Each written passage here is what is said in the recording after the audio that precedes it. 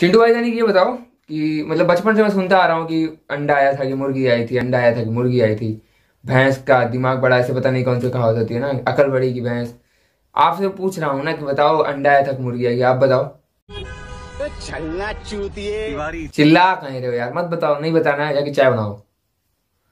बाकी चलो ये तो बताने से रहे हम स्टार्ट करते हैं।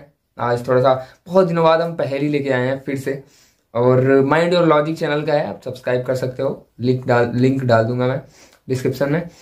तो चेकआउट कर लेना वीडियो और बाकी अपना स्टार्ट करते हैं। आज थोड़ी सी तबीयत मेरी डाउन है तो जल्दी से स्टार्ट करता हूँ और देखता हूँ, बता सकता हूँ कि नहीं बता सकता हूँ। और कुछ आठ, साढ़े आठ मिनट की वीडियो है। देखते हैं क्या बता सकता हूँ, क्या नहीं बता सकता हूँ। स्टार्ट करते हैं बिना किसी देदी के, बिना किसी बकचोदी के। तो वन टू थ्री स्टार्ट करते हैं। देखते हैं कितना बता सकता हूँ। आप लोग भी अपना स्कोर ज़रूर लिखना, साथ में बताना आप लोग भी। और मैं पॉज लेता रहूँगा। दस सेकंड का होता है बट मैं पॉज लूँगा सोचने के लिए। तो स्टार्ट करते हैं। फ़र्स्ट पहली के साथ। संडे सुबह मिस्टर रमन की डेथ हो जाती है। मेहुल क्राइम सीन पे पहुँच जाता है। उसे क्राइम सीन पे तीन लोगों के फिंगरप्रिंट्स मिलते हैं। लेकिन मर्डर नाइफ पे कोई फिंगरप्रिंट्स नहीं मिलते। मर्डर रूम में मिले फिंगरप्रिंट्स रमन की सिस्टर शमा भाई मनन और छोटा भाई श्याम से मिलते हैं।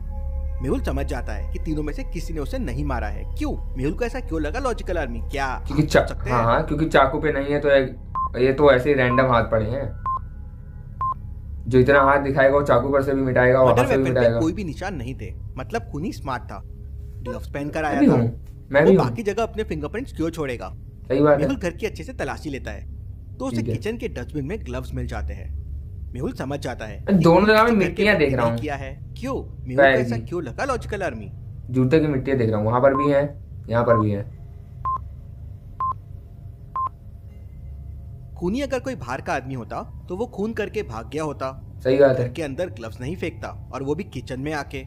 मेहुल फिर घर के सारे लोगों से पूछताछ करता है। हैं, तीनों भाई बहन कहते हैं। हम तो सुबह से रूम में ही थे। इतना आसान। कहती है वो ऊपर के रूम की सफ़ाई कर रहे अभी क्वेश्चन खत्म नहीं हुआ मेरे को आंसर पता चल गया। तो सुबह से बीमार था। माली ऊपर वाले वर्कर रूम में सो रहा था। कार्टनर कहता है वो तो सुबह से ट्रीज में पानी दे रहा था। बस यही है अंदर आया ही नहीं है। यही मतलब मर्डर है। तुरंत समझ जाता है कि कौन झूठ बोल रहा है और कौन खुदी है। कैसे? क्या स्मार्ट हैं कुछ भी logical सोच लिया भाई जल्दी चलो जल्दी चलो। दस सेकंड भी वेट नहीं हो रहा मेरे से मेरे को पता है कि वही है रूम में देखिए पैरों के निशान नहीं है। वही पैरों के निशान किचन में भी है और किचन में भी पानी डाल रहा है वहीं पे गीली मिट्टी है जो पानी की वजह से हो गई है। अब कोई बाहर गया नहीं मतलब मिट्टी सिर्फ़ गार्डनर के पैरों से ही अंदर आ सकती है इसलिए खूनी। गार्डनर है। मेहुल समझ जाता है और उसे पकड़ लेता है। चलिए पकड़ लेता है। पुलिस सड़क पर चेकिंग दूसरे कर रही की तभी वहाँ पर तीन गाड़ियाँ आती है। पहली गाड़ी वाला कहता है मैं एक आर्मी ऑफिसर हूँ दूसरा गाड़ी वाला कहता है मैं एक खुफिया एजेंसी में काम करता हूँ। और तीसरा गाड़ी वाला कहता है कि मैं एक टीचर हूँ। और तीनों अपनी अपनी आइडेंटिटी कार्ड दिखाते हैं। पुलिस तुरंत समझ जाती है कि तीनों में कौन झूठ बोल रहा है। कैसे? पुलिस को ये कैसे समझता है? क्या आप बता सकते हैं logical army one second one second stop करना पड़ेगा। अरे यार रुक जा। 2016 में ज्वाइन किया है एक्सपायर 2032 में। छ किसी स्पाई एजेंट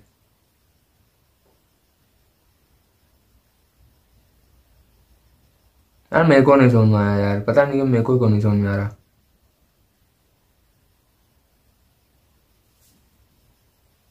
टीचर वाला दिक्कत लग रहा है मेरे को ये। चलिए, इसका आंसर देखते हैं। दूसरा गाड़ी वाला झूठ बोल रहा है। क्योंकि कोई भी खुफिया एजेंसी वाला अपनी आइडेंटिटी रिवील नहीं कर सकता और उसने तो रिवील कर दी। मतलब वो झूठ बोल रहा है वो फेक है। पुलिस उसे पकड़ लेती है। चलिए अगली पहली चलो ठीक है मान लिया यार। रमन सुबह सुबह चौराहे पे पहुँच जाता है। पता चल गया बस। रमन के भाई ने बताया था कि उसे चौराहे पर पहुंचकर उत्तर दिशा में जाना है। मतलब नॉर्थ के डायरेक्शन में। अब रमन कंफ्यूज हो जाता है कि उत्तर दिशा कौन सी है लेफ़्ट राइट या सीधी। तो लॉजिकल आर्मी क्या आप बता सकते हैं रोहन को किस डायरेक्शन में जाना चाहिए? सोचिए और मुझे आपका आंसर कमेंट करके बताएँ। सुबह सुबह है ना तो पूरब इस साइड है उत्तर इस साइड है चलिए दक्षिण इसका इस आंसर है, देखते हैं। चौराहे पर ध्यान से देखिए सुबह हो चुकी है और सामने से सूरज निकल रहा है। सूरज अब सूरज हमेशा हाँ। ईस्ट से निकलता है और हाँ, नॉर्थ हमेशा ईस्ट के लेफ़्ट साइड में होता है। मतलब रमन को लेफ़्ट जाना चाहिए। रमन ये समझ जाता है और लेफ़्ट डायरेक्शन ले लेता है। चलिए अगली पहली देखते हैं। एक बार्बर शॉप के बाहर जोरदार आवाज़ होती है और लाइट चले जाती है। आवाज़ कहाँ से आई? देखने के लिए सभी लोग बाहर चले जाते हैं। जब वापस आते हैं तो देखते हैं ये बार्बर शॉप वाला वही क्यों नहीं लग रहा स्पाई एजेंट वाला पहुँच जाता है और सबसे पूछताछ करता है। ओनर कहता है मैं तो कैश काउंटर पे था। आवाज़ सुनकर बाहर चला गया था। जब वापस आया तो ये आदमी मरा हुआ था। स्टाफ मेंबर कहता है मैं तो इसी आदमी की कटिंग कर रहा था। मैं भी आवाज़ सुन के तुरंत बाहर चला गया था। एक और कस्टमर कहता है ठीक है। मैं तो मेरे नंबर आने का इंतज़ार कर रहा था। ये आदमी बहुत टाइम लगा रहा था। मेहुल सबकी बातें सुनता है और लाइट अच्छा। जाने से पहले के फुटेजेस देखता है और तुरंत समझ जाता है कि खूनी कौन है। कैसे? क्या आप बता सकते हैं लॉजिकल आर्मी खूनी कौन है? देखो बाल उसमें थे इसके लाइट जाने से पहले। बार बार ही तो नहीं यार आवाज़ के पहले जिसका मर्डर हुआ उसके हेज देखिए। थोड़ा टक्कल होना बचा हुआ था। और अगर स्टाफ मेंबर आवाज़ सुनते से बाहर चला गया तो पूरा टक्कल किसने किया? ये झूठ बोल रहा है इसी ने मर्डर किया है। मेहुल उसे पकड़ लिया चलिए अगली पहली देखते हैं। कितना स्मार्ट हूँ यार मैं पुलिस को गले पर एक हाथ का अच्छा निशान मिलता है। स्मार्ट बंदा खूनी ने हाथ में दस्ताने पहन रखे थे इसलिए पुलिस को कोई फिंगरप्रिंट्स नहीं मिलते ना ही कोई सुराग मिल पाता है। उस समय घर पे चार लोग मौजूद थे। पुलिस घर के सारे सीसीटीवी फुटेजेस चेक करती है और समझ जाती है कि खूनी कौन हो सकता है। क्या आप ये सीसीटीवी फुटेज को देख के बता सकते हैं खूनी कौन हो सकता है एबीसी या डी सोचे लॉजिकल आर्मी और मुझे आपका आंसर कमेंट करके बताएँ।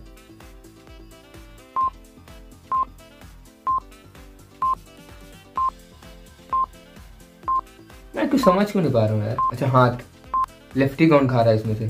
सीसीटीवी फुटेज को ध्यान से चौथा आदमी लेफ़्ट हैंड से खाना खा रहा है और मरे हुए आदमी के गले में लेफ़्ट हैंड के फिंगरप्रिंट बने हुए हैं।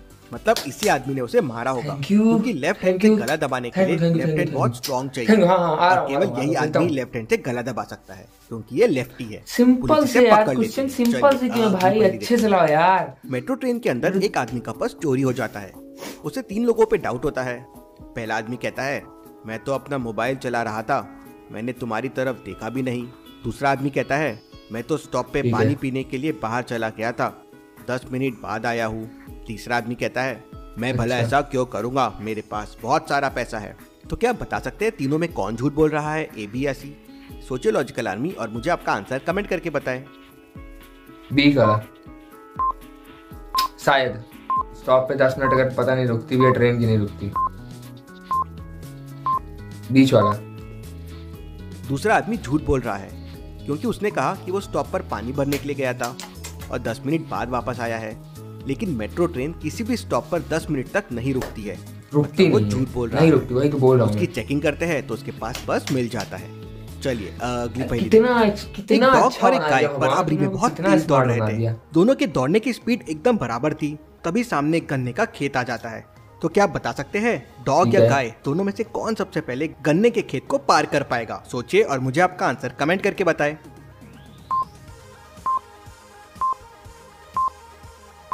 कुत्ता। भले ही दोनों के दौड़ने की स्पीड बराबर है लेकिन डॉग की हाइट कम है तो वो गन्ने के खेत को बड़ी आसानी से क्रॉस कर लेगा।